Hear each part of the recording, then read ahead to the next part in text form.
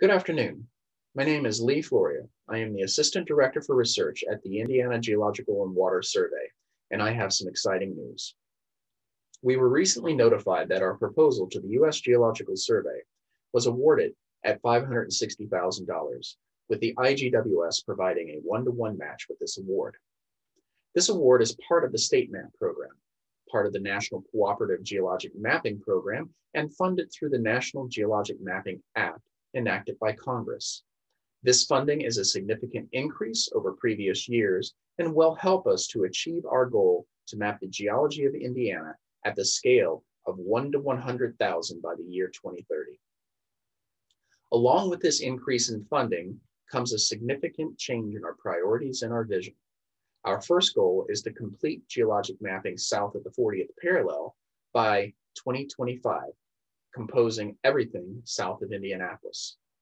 In these first four years, we will divide the state into three corridors with mapping teams assigned to each corridor, a western corridor in the Wabash lowlands, a central corridor in the Indiana uplands, and an eastern corridor comprising the Muscatatuck Plateau and Dearborn uplands. Parallel to these efforts will be a fourth team focused on the quaternary sediments associated with the southernmost advance of Pleistocene glaciation. Each of these mapping teams will be spending significant time at rock outcrops, drilling sediment and rock cores, conducting analyses in the lab, and drafting maps for production. Finally, and perhaps most importantly, the IGWS will rethink how we collect, organize, archive, and disseminate our important geologic data to the state and the nation by implementing an enterprise database architecture that allows for unique 3D visualizations of bedrock geology and superficial sediments.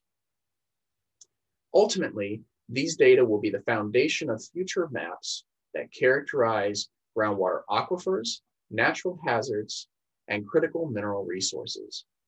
This is an exciting time for our organization and for the geosciences in Indiana. We welcome you to join us in this journey and look forward to sharing our data and maps with you. Thank you.